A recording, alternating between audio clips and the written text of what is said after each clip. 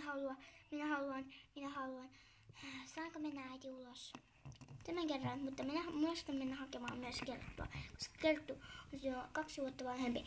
Minä kuusivuotias. Se, ne, sinun pitää kyllä, minä teidän kyllä pitää oppia. Au. Okei okay, äiti.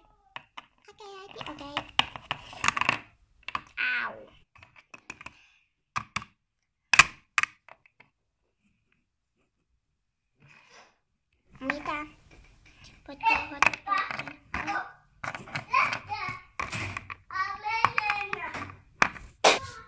Anteeksi taustameteli.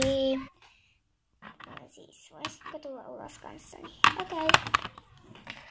Hei, mä löysin kahden, kahden eu, 20 euron. Minä löysin 10 euron setelin maasta, siis kaveri.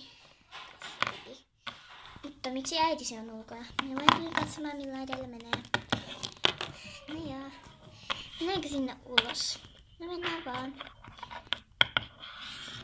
Ne, minä menen kahden 10 euron setelin tuonne kotiin. Noin. Mennään. Mennään mukaan. Mennään pukemaan. Mennään tässä rappasia. 饿。